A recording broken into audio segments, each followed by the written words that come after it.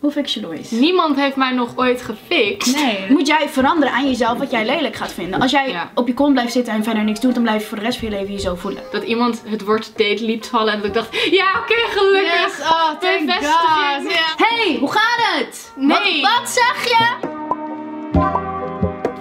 Is het Bob? Is het Bad Betty? Is het Velma? Hoi allemaal, ik ben vandaag hier bij Carré. We zijn weer hier samen en dit keer gaan we een adviesvideo voor jullie opnemen. We gaan om, om zijn beurt voorlezen. Oké, dat is goed. Ik heb er nu zoveel...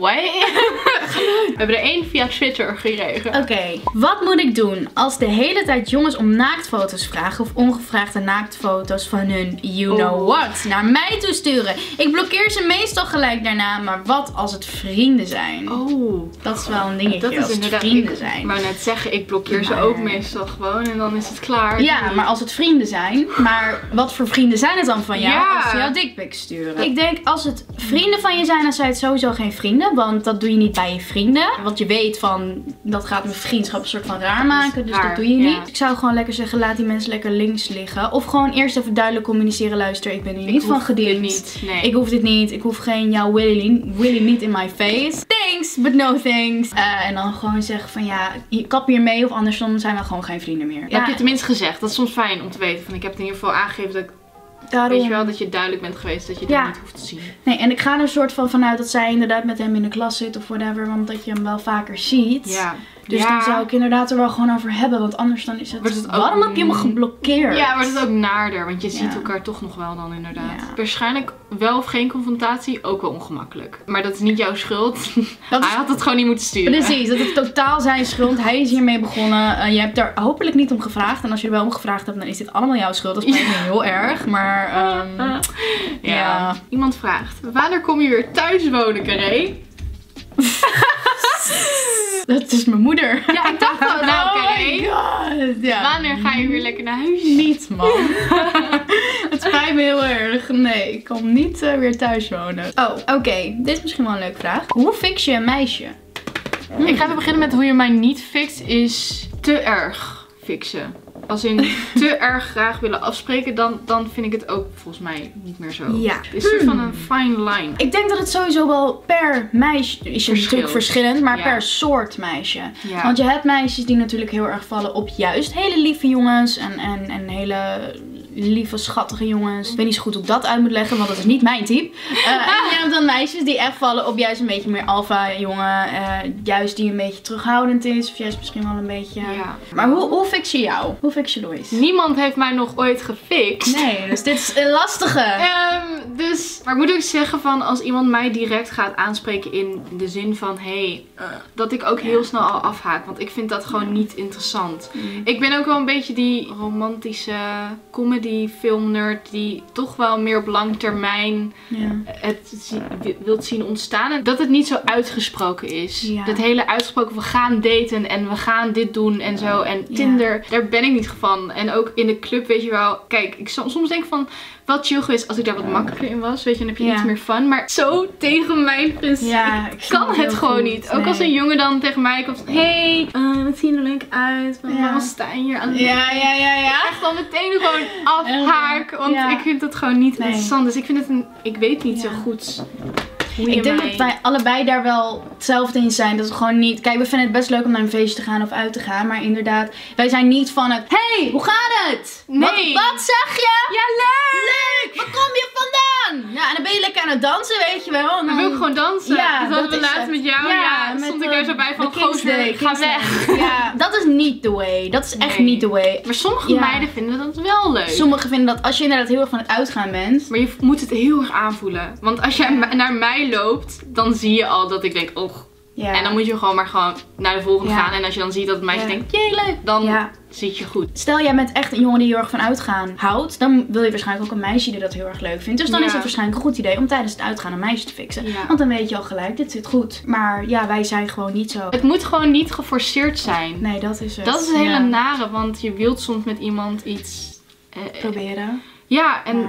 Ja, gewoon iemand waar je je gewoon heel chill bij voelt. Wat eigenlijk gewoon een vriendschap is. En dat, langzaam dan... Ja, onuitgesproken een soort van... Iets wordt. Maar laten we nou eventjes, want stel dat is wel het geval. Stel ze zijn nu vrienden en hij heeft zoiets van ja, ik wil haar dus. Ja, en dan moet je inderdaad dat punt komen. Wat moet hij dan doen om dat te laten merken? En dat niet te veel te verpesten. En niet te zeggen van hé hey, luister, ik wil je vriend worden dan. Want ik heb best wel soms gehad mensen die dan wel op date vragen. Maar als het van mijn kant er niet is, dan zeg ik ook, dan is het er niet. Laten we zeggen, je zou mij leuk vinden, mij op date vragen. Ik ben heel casual. Ik vind koffie drinken leuk. En ja. gewoon de stad in, filmpje kijken. Maakt niet zoveel uit in principe. Eigenlijk moet je dan gewoon geluk hebben dat het wederzijds is. En wel ergens in de zin, denk ik, een soort van subtiel laten weten dat het dategericht is. Ja. Want anders dan zie, ga ik gewoon, ik drink vaak genoeg koffie met vrienden. Ja, en dat precies, kunnen ook jongens zijn. Dus ik denk dat je ergens nonchalant wel moet laten weten dat het voor jou, voor jou een date is. Ja. Want dat heb ik ook gehad, dat ik dan met iemand ging afspreken. En dat iemand het woord date liep vallen. En dat ik dacht, ja oké, gelukkig. Yes, oh, ja. dus dat is belangrijk. Ja. Dus dat zou ik dan inderdaad wel nonchalant of juist heel duidelijk. Weet je, of je maakt, legt het hem lekker bovenop van oh, date. Dan is het meteen duidelijk of subtiel. Je moet gewoon geluk hebben dat het wederzijds is. Ja, ik denk dat het inderdaad per persoon, hoe jij bent, zeg maar ook verschilt. Bijvoorbeeld, ik ben heel erg van het gewoon duidelijk communiceren. Dit is er dan al, dit voel ik en dan, weet je wel. En als dan, dus ik zou zeggen van, hé, hey, zullen we het dan proberen, whatever. En als diegene dan zegt, ja, sorry, ik zie je niet. Oké, okay, no hard feelings, ja, prima. Gaan we gewoon zo verder, ja. Weet je, maar daar moet je ook alweer genoeg confidence voor hebben of zo. Want als je, als je dat probeert, maar dan niet met genoeg confidence dat overbrengt, dan is het ook van ja, you sure you're okay? Uh, en dan kan het ongemakkelijk worden, weet je wel. Dus dat, is, niet duidelijk meer. Maar gewoon lief tegen haar blijven, gewoon leuk. Maar ja, en niet ineens zeggen van, oh je bent al zo'n hoer. Als iemand dan afwijst. Oh mijn god, dat, moet je niet doen. Don't do that. Uh, ja. Dat, bewijst eigenlijk alleen maar tegendeel dat je niet echt geïnteresseerd bent. En dat jij gewoon een asshole bent en zij gewoon... Dus dat niet doen. Je moet een, een, even een specifiek ding insturen. Van dit is de situatie, hoe fix ik haar? Niet hoe fix ik een meisje, want dat is te, te, te groot. Dat kan niet. Gewoon goed inschatten wat voor type meisje je hebt. Ja, en hoe jullie relatie samen is. Anders weet je, je weet het wel. Als jij een meisje hebt waarvan je nu denkt van, hé, met haar wil ik verder, dan weet je hoe je haar moet fixen. Je weet het wel. Oké, hoe krijgt een lelijk meisje zoals ik ooit een vriend? Oh, dat is echt heel sad. En dit is een collega, dus ik heb er al geuit van. Oh nee. Stop. Het is waarschijnlijk helemaal niet lelijk. Oh, oh Het is gewoon echt heel erg leuk. Van, ja, ja. dat is belachelijk natuurlijk. Kijk. Ik bedoel, dat heeft meer te maken met je eigen zelf, zelfvertrouwen dan anything Sowieso inderdaad, voordat je, dat is zo cliché en ik werk er ook aan, maar voordat iemand anders van je kan houden, moet je eerst van jezelf houden. En dat is zo, zo irritante uitspraak vind ik het, maar het is wel waar. Zo, ja. Nee, maar hoe kan je nou inderdaad in een relatie zitten? Want dan ga je dus basically een relatie in, zodat je die validation van diegene krijgt. Vind je me mooi? Vind je me mooi? Vind oh, ben ik niet te dik? Hou je dat twee weken vol en dan is het klaar. Ja, nee, maar echt. Ik vind het een moeilijke, want ik heb ook nog nooit een relatie gehad. Mm. En dan denk ik van ja, dat ligt er niet aan of ik lelijk of mooi ben. Is gewoon nog niet gebeurd. Ja. Voor jou ook niet. Nou, dat kan, dat is niet erg. Het heeft gewoon nog niet zo moeten zijn, zeg maar. Nee, dat is denk ik echt nog zo'n perfecte formule zijn van timing. Elkaar leuk vinden, iemand tegenkomen. En dan moet het gewoon zo op dat moment werken. Ja, en dat, is gewoon dan nog niet gebeurd. Ja, dat denk ik ook. Ik denk juist als, als ik nu advies zou moeten geven, dan is het van werk aan, je, aan jezelf. En dat klinkt heel kut, maar je zegt nu je vindt jezelf lelijk. Oké, okay, dat is niet zo. Jij voelt je zo. En dat effect jou, zeg maar. Dus dan moet, daar moet je aan gaan werken. Je uit Precies. Dus dan moet jij werken aan je lelijke uiterlijk. Bullshit. Maar moet jij veranderen aan jezelf wat jij lelijk gaat vinden. Als jij op je kont blijft zitten en verder niks doet, dan blijf je voor de rest van je leven je zo voelen. En dan krijg je dus inderdaad mensen die daarop afkomen. En die er misschien gebruik van gaan maken. Van, oh ze is onzeker, ze blijft toch wel bij me. Dat soort dingen. Dat wil je niet. Je wil niet voor de rest van je leven je zo blijven voelen. Dus doe er wat aan. Nee, ik vind het altijd zo als mensen zeggen van, oh, ik, ik haat mezelf. Dan denk ik, oké, doe er wat aan, weet je. Ik vind het een heel makkelijk antwoord om te zeggen, oh ja, mijn leven is kut, want ik vind mezelf niet leuk. Ja. Oké. Nee, het, zit allemaal in, het is allemaal in jouw handen. Dat is heel confronterend, vind ik vaak. En ik ben er ook nog niet helemaal uit over waarom ik single ben. Waarschijnlijk ook wel omdat ik er eigenlijk ook zelf onbewust misschien niet behoefte aan heb. Maar ook weer wel. Weet je, het zijn zoveel verschillende dingen. Soms denk ik van, ja, lijkt me heel leuk. En aan de andere kant merk ik, als ik dus daadwerkelijk aangesproken word in de club door jongens. Dat ik echt denk van, nou, ik ja. heb hier... Nee, dank je, weet je wel. Dus Precies, ja. Het is, het is waarschijnlijk ook onbewuste uitstraling die ja, je... wat jij zegt inderdaad ook gewoon timing. Maar ik vind dan wel van, juist omdat timing zo belangrijk is, zorg dan dat als hij komt, dat jij klaar bent. Ja. Dat jij er klaar voor bent en dat jij jezelf gewoon helemaal leuk, chill dat jij leuk vindt en chill vindt. Want als jij helemaal onzeker bent en je wil niet, ja, dan gaat hij. Hij was de right guy, maar jij hebt niks aan jezelf veranderd. En, en ook zelfacceptatie, weet je. Er zijn altijd dingen die bijvoorbeeld zo zijn als dat ze zijn, weet je wel. Kijk, je gezicht is gewoon hoe het er op een bepaald moment uitziet. Nou, ik wil niet per se adviseren van doe er een laag make-up op omdat je, dan omdat je er dan, weet je wel, in Instagram-stijl beter uitziet. Nee, zoek gewoon een manier hoe jij je steeds mooier gaat voelen. Ja. Dat kan zijn via een ander haarkapsel of meer make-up of juist weinig make-up, andere kledingstijl, je lichaam het beste naar buiten krijgen. Gewoon kleine dingetjes waardoor je je steeds chiller gaat Dat is zo, ja. Stel jij hebt een slechte huid en daar voel je onzeker over, ga dan doen. Er is altijd wel iets wat je aan kan doen. Want ik had ook hele erge acne en ook in mijn rug en zo. En daar ben ik uiteindelijk gewoon echt een hele zware pillen voor gegaan. En ik snap dat mm. jij dat misschien dan weer niet wil. Maar ja, dat is wel een keuze die je dan zelf maakt. Dus je moet er wel echt iets voor doen. Stel je vindt jezelf te dik. Ga gezond eten en afvallen. Mhm. It's, it's that simple, weet je. Ja, je moet keuzes maken. Je moet keuzes maken. En als jij dat dan belangrijker vindt, uh, slecht eten en dat soort dingen, omdat je dat lekker vindt. Ja, prima. Maar ga dan niet jezelf helemaal afkatten van, oh, ik haat mezelf. Nee, je haat jezelf niet. Je vindt gewoon eten blijkbaar belangrijker dan jezelf. That's it. Natuurlijk is het niet zo zwart en wit. Er zijn altijd dingen. Misschien is, is iemand bijvoorbeeld wel ziek en dan heb je medicijnen en dat je daarom wat dikker bent. Ja. Maar blijf gewoon altijd aan jezelf werken. En het kost tijd. Het kost zoveel tijd. Zoveel, stapjes. Tijd. Over 50 jaar ben je nog steeds niet tevreden. Dus je moet niet wachten ook totdat je dat bent eigenlijk. Dat is ook altijd zo'n ding. Je moet niet wachten. Ik hoor ook vaak van, oh ik wil dit maken of dit doen. Nou, dat ga ik ooit uploaden en ik ga nu dit doen. Nee, ik moet het eigenlijk gewoon nu doen. Ja, dat is en dat is eigenlijk hetzelfde met alles, weet je wel. En het is ook niet erg om dan af en toe wel je lelijk of kut te voelen. Dat heb je tuurlijk. Oh, absoluut. Maar je moet er niet in blijven hangen, want dan kom je er nooit meer uit. Dat is het echt. En ik weet dat zij bijna 18 wordt. Um, dus is ook al een paar jaar jonger. Ik weet niet, dan groei je daar ook in met zelf hoe je eruit ziet en of je jezelf mooi vindt. Het gaan allemaal dingen die samenkomen. Maar je moet inderdaad actief aan jezelf werken. Oké, we hebben weer lang geluld, hè? Echt. Hier kan ik oneindig over ja. ja. Oh, dit is eentje voor jou. Hoe kom ik aan K-pop tickets zonder steeds genaaid te worden Ticketmaster? Ik weet het ook niet. Het is je nog niet gelukt? Ik ben altijd tot nu toe genaaid op Ticketmaster. Ja, maar je bent wel geweest, toch, nu? Ja, maar dat was ook niet via Ticketmaster. Dat ah. was omdat ik toen thank God, zeg maar, meisjes uit Frankrijk die kwamen hier oh, naartoe. En die wilden ergens blijven slapen. En in exchange hadden ze dan een extra VIP ticket over. En dat dacht ik van, ja, is ik, goed. Ik woon dicht bij de venue, please. Dus dat was maar Ticketmaster. Fucked up, man. Zoveel stress. Ja, ik heb uh, de allereerste keer dat ik toen ging zitten voor BTS tickets in Amsterdam. Dat, toen heb ik zeven andere mensen gevraagd of ze wilden gaan zitten. En niemand is er doorheen gekomen. Ook gewoon niet eens doorheen. Nee, uur later nog steeds niet. Telkens probeer niks. De volgende dag hadden we geprobeerd voor volgens mij Frankrijk of Londen. Same, niemand doorheen gekomen. Want heel veel mensen die kopen dan zeg maar, gaan zo ver om bots te kopen voor 90 euro. En die bots die gaan dan voor jou die tickets halen. Oh. Stel, uh, het is net begonnen. Dan zijn we 30 seconden in de dinges. Ja. En dan staan zeg maar uh, tickets al op tweedehands sites van, oh koop nu voor drie, drie, zo dubbel de prijs, zeg maar. Omdat dan die sites, die kopen bots in, zodat die bots dat kunnen kopen. En dan kunnen zij het voor drie dubbel de prijs verkopen. Jezus. Zo werkt dat mag toch ook niet, lijkt me? Ja, ik heb dat tot nu toe altijd gehad. Dus koop bots. Als je echt erheen wil, koop voor 90 euro extra. Is basically gewoon duurder dan het concertkaartje zelf. Maar koop bots als je er echt heel graag heen wil. Dat is de oplossing. Heb je tips om minder verslaafd te zijn aan je telefoon? Nee. I struggle. Je hebt nu natuurlijk op iPhone dat je dus jezelf kan limiteren van uh, tijd op je social media. dus die heb ik al aanstaan. Nou, soms regeer ik hem en dan denk ik, ja, fuck dit, niet vandaag. Maar soms hou ik me er ook aan. Ik heb bijvoorbeeld zelf, en dat is een hele omslachtige manier, maar ik heb nu een Walkman. Ik luister heel vaak muziek via mijn telefoon, waardoor ik ook sneller op social media ga. Ik heb wel dus nu een manier van waar ik muziek op kan luisteren onderweg, zodat ik wellicht mijn telefoon een keer even weg kan leggen. En dan wel muziek heb, maar niet op mijn telefoon zit.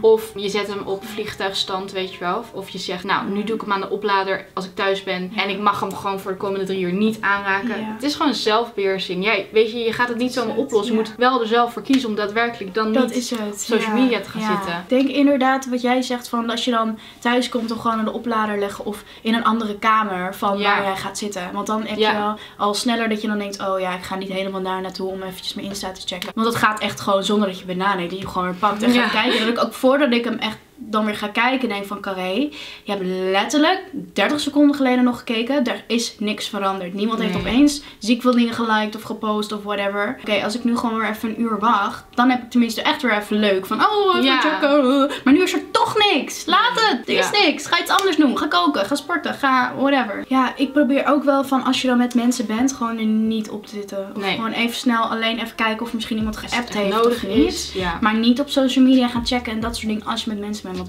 ten eerste super ongezellig. No. Ik denk dat het ook belangrijk is om dan het ook te vervangen met iets anders. Weet je wel. Ik zou ook niet, ja. niet op mijn telefoon en dan vervolgens.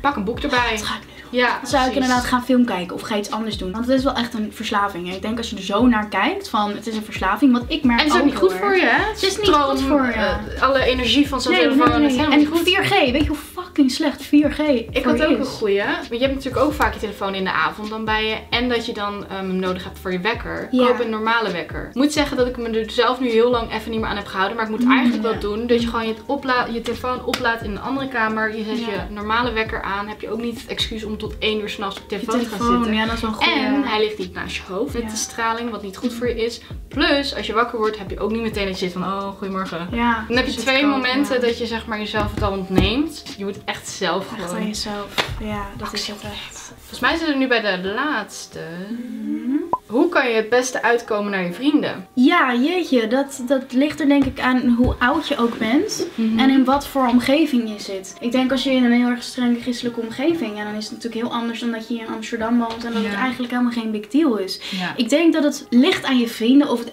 echt vrienden zijn. Of vrienden die op je middelbare school. Je vrienden. Snap je Ja. wat ik bedoel? Ik zou misschien als je echt een beste vriendin of vriend hebt. Kies er één uit waar je het echt van weet. Ja. Die inderdaad eventjes eerst apart als een soort, misschien even een test van kijk, voelen hoe iemand er misschien op reageert. Dan krijg je daar misschien ook weer meer een idee van hoe je dat bij andere mensen kunt doen. Nou Ja. zou ik niet iedereen telkens apart nemen. Ik denk dat dat Nee. heel stressvol is. Maar wel je echt de beste buddy als gewoon een soort emotional support. En dan daarna gewoon je groepje bij elkaar van luisteren jongens. Ik weet niet of jullie misschien door hadden, maar Ik dit is aan de eh, hand. dit. Maar ik denk dat je het gewoon er echt uit moet gooien. En dan als diegene je niet meer leuk vinden of tof vinden of het ongemakkelijk met je maken. Ja, you don't want that shit in your life anyways. Ik hoef het zelf niet te doen, dus dat is een beetje een soort van luxe positie dan zoiets vertellen. het, ja. Maar ik zou me kunnen voorstellen dat als je het dan in een vriendengroep scenario zou doen, dat je het dan ook niet moet zeggen van, hé hey jongens, ik wil vanmiddag wat vertellen. Laten we gaan Nee, zitten ja. met z'n allen. Dat je het eigenlijk gewoon moet doen op het moment dat jullie gewoon samen film aan het kijken zijn van, oh ja, trouwens, Ja, ja, ja, meens. Ja. ik follow flower. Ja. Dan weet je dat. Ja. Weet je? En dat klinkt een, beetje van, oh, het is makkelijker gezegd dan gedaan. En dat Ja, is het is waarschijnlijk het ook. ook. Maar dan maak je het zelf ook minder zwaar. Een big deal, ja. Ja, het is natuurlijk een big deal. Ja. Maar hoe meer je dat zelf ook een big deal maakt voor de ander, hoe zwaarder het gaat wegen en hoe heftiger het wordt. En hoe... Dat is zo, ja. Weet je, Het wordt sowieso wel heftig, dus haal dat factortje er gewoon vanaf. Dan heb je dat alvast geëlimineerd. En dan blijft de heftigheid van de reactie alleen nog over. Ja. ja, of niet natuurlijk. Ik bedoel, je moet er ook niet ingaan met het idee van oké, dit gaat sowieso een ding worden. Nee, dat is waar. Ja, Misschien zeggen ze wel van, ah ja, ja, ik had wel zo'n gevoel man, maar good for you. Tof dat Fijn je dat dit het zegt. gezegd, ja. Wie wil er nog popcorn of zo? Ja. Je weet het niet. Ga er ook niet in En- met, oh ja. ik wil dit niet zeggen, want het is eng en ze gaan er een big deal van. Weet je niet. True. En ook echt goed hè. Dit is echt gewoon, dit You is ook best wel, het is eng, maar het is goed. En je hebt ook nu aan ons gevraagd, dus dat is ook goed. je hebt een eh, stap gemaakt om inderdaad te zeggen van, oké, ik wil dit misschien wel mensen vertellen. Good for you. Ja, nice. Ja, I'm proud! Yeah. Dat was de laatste. Ik vind dat een mooie afsluiter. Dus ik hoop dat nice. iedereen er wat aan heeft gehad van onze lange lulverhalen. Waar uiteindelijk in kern een goede boodschap zat. Dus ik hoop Ja. dat je hem hebt gevonden. Ik hoop dat je Ehm, hem hebt gevonden. Dus laat even weten in de comments als je nog een vraag hebt voor iets. Ja. Voor Carré of voor mij of allebei. Doe even een duimpje omhoog. Misschien doen we het wel vaker. Misschien doen we een, een summer editie in Spanje. Ja, in Spanje. Dan gaan ze aan Ja, vakantie. Dus dat is ook misschien nog leuk. En dan voor nu, fijne dag.